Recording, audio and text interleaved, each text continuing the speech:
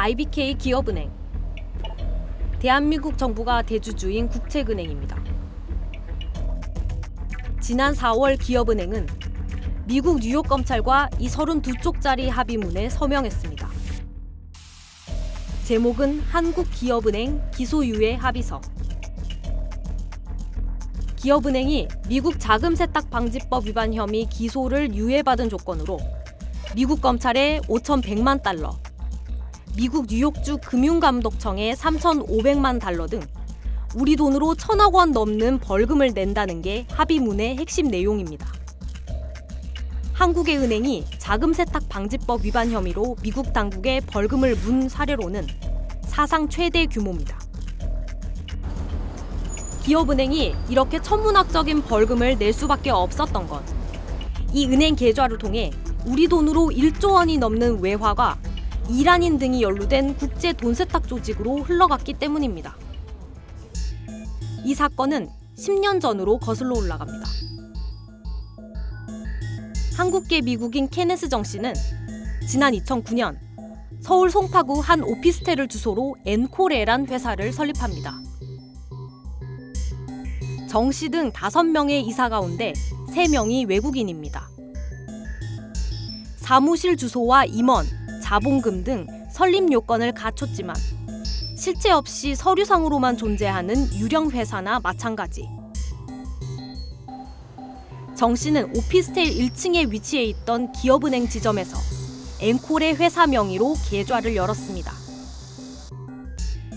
그리고 2011년 이란과 두바이 간 중개 무역을 가장해 6개월간 무려 1조 1천억 원 가량의 이란 자금을 세탁해주고 170억 원 가량의 수수료를 챙겼습니다. 수법은 이렇습니다. 정 씨는 한국에, 국제 돈 세탁 조직은 이란과 두바이에 각각 회사를 세웁니다. 정 씨 회사 엔콜에는 두바이 회사의 건축 자재 등을 이란 회사로 수출하는 중개 무역 서류를 조작해 한국은행과 전략물자관리원에 제출합니다. 이어 이란 회사의 수입 대금을 가장한 이란 측 자금은 한국과 이란의 원화 결제 시스템을 통해 기업은행에 개설된 엔콜의 계좌로 들어옵니다. 엔콜에는 이를 달러로 바꿔 두바이 회사로 보냅니다. 물론 이 과정에서 실제 건축 자재의 수출 수입은 일어나지 않았고 출처 불명의 이란 자금만 달러화 무역 대금으로 세탁된 겁니다. 이 과정에서 기업은행도 막대한 환전과 송금 수수료 수익을 거뒀습니다. 기업은행 본점이나 금융당국은 이렇게 1조 원이 넘는 수상한 외환 거래에 전혀 제동을 걸지 않았습니다. 이 돈 세탁은 2011년 7월에야 기업은행 뉴욕 지점 직원에 의해 포착됐습니다.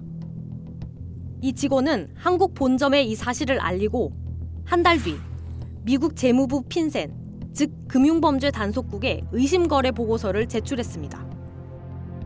하지만 한국 검찰은 1년 넘게 지난 2012년 9월 사건 수사에 착수해 정 씨를 외국 환거래법, 관세법 위반으로 구속 기소했습니다. 미국과 한국 수사 당국이 압수한 정 씨의 이메일에는 정 씨가 외화 송금액에서 일정 비율을 기업은행 관계자에게 사례비로 줬다는 내용 등이 나옵니다. 그러나 이 사건과 관련해 적발된 기업은행 관계자는 한 명도 없습니다. 사건이 불거지자 금융감독원도 조사에 나섰지만 기업은행 관계자들이 불법 송금 사실을 뒤늦게 확인했고 내부 보고를 제대로 하지 않은 점만 드러났다고 밝혔습니다. 기업은행은 금융감독원 감사를 받았기 때문에 자체 감사는 따로 하지 않았다고 말했습니다. 문제는 설립한 지 얼마 되지 않은 실체도 불분명한 회사가 단기간에 1조 원대 외환 거래를 그것도 미국 제재 대상 국가인 이란 소재 회사와 집중하고 있는데 기업은행은 물론 우리 금융감시당국 어디에서도 이를 포착하지 못했다는 점입니다. 뉴스타파 취재진은 이제는 폐업한 정 씨의 유령 회사 앵콜의 등기부를 살펴봤습니다.